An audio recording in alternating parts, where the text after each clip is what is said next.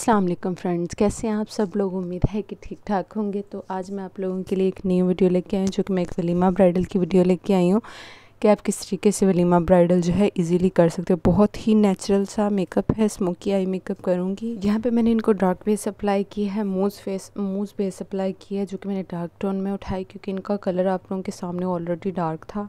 तो मैंने इसको फेयर करना है इसलिए मैंने डार्क फेस कलर को इवन टॉन करने के बाद हम किसी भी कलर की कैटेगरी में जा सकते हैं तो हमारी फाउंडेशन जो है वो ग्रे नहीं लगेगी। यहाँ पे मैंने इनको फेयर बेस अप्लाई की जो कि मैंने यूज़ की काशिश की बेस मैंने एक कंटेनर में अब बेस इसको निकाल ब्रश की हेल्प से अच्छे से अप्लाई कर देंगे हर जगह फेस के ऊपर इसको मैं सेट कर दूँगी क्योंकि बहुत सारी बेसिस ऐसी हैं जो मैं ब्रश की हेल्प से नहीं लगाती हाथ की हेल्प से लगाती हूँ लेकिन ये वाली जो फाउंडेशन है ड्राई पैची हो जाती है क्योंकि काशिश की फाउंडेशन ऐसी है उसको जितनी जल्दी आप ब्लेंड करोगे उतनी प्यारी ब्लेंड होगी क्योंकि जब आप उसकी ब्लेंडिंग को कम कर देते हो ना तो वो ड्राई होना स्टार्ट हो जाती है और वो जल्दी से ब्लेंड नहीं हो सकती।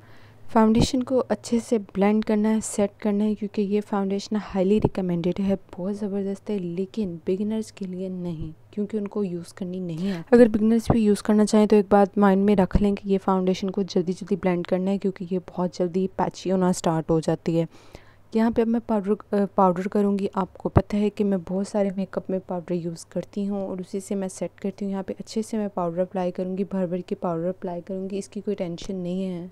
जितनी अच्छी आप फाउंडेशन सेट करोगे ना पाउडर की हेल्प से, उतनी ही ज़्यादा आपकी फाउंडेशन लॉन्ग लास्टिंग रहेगी। मतलब कि आपका ज़्यादा टाइम निकालेगी। पाउडर की टेंशन इतनी ज़्यादा नहीं लें क्योंकि वो बाद में डस्ट ऑफ़ हो जाएगा तो आपकी बेस बहुत फ्लॉलेस लगेगी।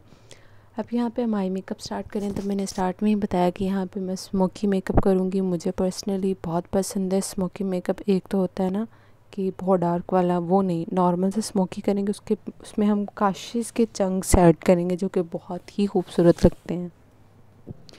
यहाँ पे हाफ़ लीड पे हम ब्लैक कलर को अप्लाई कर देंगे और अप्लाई करने के बाद एक बात याद रखें कि आई शेड को ब्लेंड करना बहुत ज़रूरी है। का शेड को ब्लेंड करने के लिए अभी हम हम, यहाँ पे ब्राउन शेड अप्लाई करेंगे उसके साथ हम अच्छे से कॉर्नर्स को ब्लेंड करेंगे क्योंकि अगर ब्लैक कलर की लाइंस नज़र आएँगी तो वो बहुत बुरा लगेगा तो इसके लिए हमें ब्लेंडिंग करना जो है वो बहुत ही ज़रूरी है। तो यहाँ पे मैं अच्छे से ब्लेंडिंग करूँगी ब्राउन शेड के साथ। कर लेंगे और उसके बाद हम देखेंगे कि हमें यहाँ पे डार्क कलर अप्लाई करना पड़ेगा कि नहीं, क्योंकि ब्लेंडिंग जो है उसको थोड़ा सा डार्क कलर भी उसमें ऐड करना पड़ता है। तो यहाँ पे उसके बाद मैं डार्क कलर जो है वो अप्लाई करूँगी। डार्क कलर को अप्लाई करने के बाद हम अच्छे से ब्लेंड करेंगे ताकि जो ब्लेंडिंग है वो बहुत ही प्यारी लगे, कहीं कोई भी शेड रखा हुआ नज़र ना आए। और एकदम से पॉप करती हुई जो आईज़ हैं वो हमें मिले। ब्लेंडिंग करते वक्त ये ध्यान रखा करें कि आपका ब्रश अगेन अगेन आप क्लीन कर लिया करें, क्योंकि जितना आप ब्रश को क्लीन करेंगे वो उतना ही अच्छा ब्लेंड करेगा। यहाँ पे हम सीलर अप्लाई करें क्योंकि यहाँ पे मुझे काशिश के three D glitter powder apply करना था, जो कि बहुत ही खूबसूरत कलर था। अभी मैं आपके सामने अप्लाई करूँगी। जो इसका शेड था स्काई में शेड था, लेकिन इसका नंबर मैं डिस्क्रिप्शन में मेंशन कर दूँगी, क्योंकि मैं बताना भूल गई थी यहाँ पे। तो अच्छे से अप्लाई करेंगे ताकि फ़ॉल आउट ना हो, क्योंकि ये वाला जो शेड है अक्सर फ़ॉल आउट हो जाता है तो मैंने उसके बाद भी सीलर इसके ऊपर लगा दिया था। सिल्वर कलर लेंगे उसको आर्च आर्च में अप्लाई करेंगे ब्राउ आर्च के में, और इसके अलावा हम इनर कॉर्नर में अच्छे तरीके से अप्लाई करेंगे ताकि हमारे जो मेकअप लुक है ना इन्हांस होके नज़र आए। यहाँ पे जो मैंने कलर अप्लाई किया था, उसको मैं अच्छे तरीके से ब्लेंड करूँगी ताकि कोई भी लाइन जो है विजिबल ना हो और मेकअप बहुत ही प्यारा लगे, खींची हुई लाइनें ना लगे। तो यहाँ पे आप मेकअप देख सकते हो कि कितना खूबसूरत लग रहा था। उसके बाद हम केक आई लाइनर अप्लाई करेंगे। केक आई लाइनर मेरा मोस्ट फेवरेट है। केक आई लाइनर को हम वेट करके अप्लाई करते हैं तो ये बहुत ही मज़े का अप्लाई होता है। ठीक है?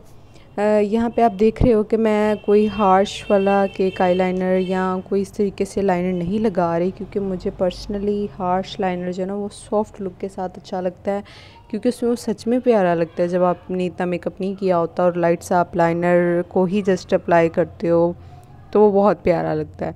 तो यहाँ पे मैं स्मर्ज लाइनर ही अप्लाई करूँगी क्योंकि मैंने स्मोकी आई मेकअप किया था और इसके साथ कोई भी विंग आई लाइनर अगर मैं लगाती विंग में तो वो बहुत ही बुरा लगना था। तो इस वजह से मैंने लाइनर अप्लाई करने के बाद उसको स्मर्ज कर दिया और वो बहुत ही खूबसूरत लुक दे रहा था। उसके बाद हम यहाँ पे मस्कारा अप्लाई करेंगे। मस्कारा मस्ट है, इसको कभी भी नहीं स्किप कीजिएगा आप, क्योंकि ये मेन पार्ट है आई का। वैसे तो सारे पार्ट ही ज़रूरी होते हैं, लेकिन ये मेन पार्ट है। उसके बाद हम आइज़ पे अप्लाई करेंगे मस्कारे के बाद लैशेज़ क्योंकि लैशेज़ बहुत ज़रूरी हैं। उसके साथ आइज़ बहुत बड़ी लगती हैं और प्यारी लगती हैं। तो यहाँ मैं काशिश के ही आई अप्लाई करूँगी। मोस्ट फेवरेट है मेरी काशिश की, आई लैशेज़, इस वजह से मैं अपनी हर वीडियो में जो लैशेज़ अप्लाई करती हूँ, वो काशिश की अप्लाई करती हूँ। तो ये इतनी खूबसूरत लग रही थी इसके साथ आइज़ की लुक एकदम से चेंज हो गई, वो बहुत ही खूबसूरत सा मतलब एकदम पॉप करती हुई आइज़ जो है ना वो नज़र आ रही थी। उसके बाद हम यहाँ इनके फेस पे कॉन्टोरिंग करेंगे। कॉन्टोरिंग इनके फेस पे मैं भर भर के करूँगी क्योंकि माशाल्लाह से फेस थोड़ा सा ब्रॉड था तो मैंने इसको सोचा क्यों ना एक अच्छी सी कंटोरिंग करूँ जिसके साथ फीचर्स जो हैं वो थोड़े से दब जाएँ और एक जो फेस की लुक है ना वो थोड़ी सी हार्श नज़र आए। उसके बाद कंटोरिंग करते हुए हम लैश लाइन को भी सेट कर रहे थे क्योंकि आप का मेकअप रीचेकिंग जो है वो चलता ही रहता है। ब्लशन अप्लाई करें ब्लशन जो है आपके पास सॉफ्ट कलर का होना चाहिए क्योंकि जब आप इतना हैवी मेकअप करते हो तो ब्लशन को थोड़ा लाइट ही रखें मीन्स होला हाथ रखो। तो ब्लशन बहुत प्यारे लगे। यहाँ पे हल्के हल्के से मीन्स के मिनी मिनी से पार्टिकल्स थे ग्लिटर के तो वो बहुत ही शाइनी ब्लशन प्यारा लग रहा था। वो हमने इनके फेस पे अप्लाई किया। उसके बाद हमने हाइलाइटर अप्लाई किया तो वो स्किप हो गई वीडियो उसके बाद हम लिपस्टिक अप्लाई करेंगे। पहले मैंने एक बहुत ही नोट सा शेड अप्लाई किया क्योंकि मुझे पर्सनली इस मेकअप के साथ ये वाला लिप कलर बहुत ही प्यारा लग, लगता है। तो मैंने इनके फेस पे भी अप्लाई किया लेकिन आजकल लोग ज़्यादा ये कलर लाइक नहीं करते तो मैंने सोचा क्यों ना मैं इस कलर को थोड़ा सा चेंज कर दूँ, थोड़ा सा पिंकिश में लुक कर दूँ। वैसे अगर देखा जाए तो ये वाला लिप कलर जो है ना बहुत ही प्यारा लग रहा था इस मेकअप के साथ। लेकिन जो नेक्स्ट मैंने अप्लाई किया, वो भी बहुत प्यारा लग रहा था। मैंने इसके बाद इसके लिप्स पे पिंक कलर जो है, वो लाइट लाइट सा अप्लाई किया, जो अच्छी लुक दे रहा था फिर मैंने सोचा कि लिप लिप ग्लॉस की जगह यहाँ पे मैं थोड़ी सी लिपस्टिक भी अप्लाई करती हूँ, क्योंकि जब उन्होंने लिप्स को प्रेस किया तो लिपस्टिक हट गई और फिर मैंने सोचा कि मैं अब लिपस्टिक से ही फिलिंग करती हूँ, क्योंकि पॉलर में काम करते हुए आपके साथ ऐसे छोटे मोटे कारनामे होते रहते हैं। तो फिर मैंने यहाँ पे लिपस्टिक अप्लाई की। लिपस्टिक मैंने जो अप्लाई की थी वो पता नहीं कौन सी थी, क्योंकि मैंने कस्टमाइज़ लिपस्टिक बनाई हुई हैं। एक ही कंटेनर में मैंने अपनी सारी लिपस्टिक निकाली हुई हैं तो मुझे सबके नाम भूल चुके हैं। तो मैं लिपस्टिक्स मेरे पास अलग अलग ब्रांड्स की उसमें पड़ी हुई हैं।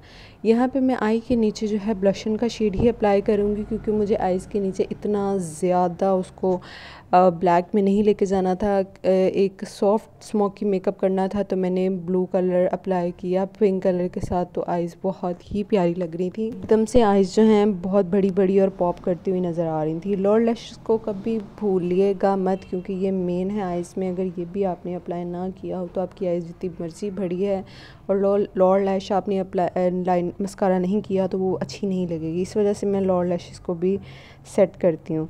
इसके साथ आप लोग मुझे इजाज़त दें फ़ाइनल लुक का आप लोग देख लें और अगर आप लोगों को मेरी वीडियो अच्छी लगे तो मेरे चैनल को ज़रूर सब्सक्राइब कर दीजिएगा। अल्लाह हाफिज़।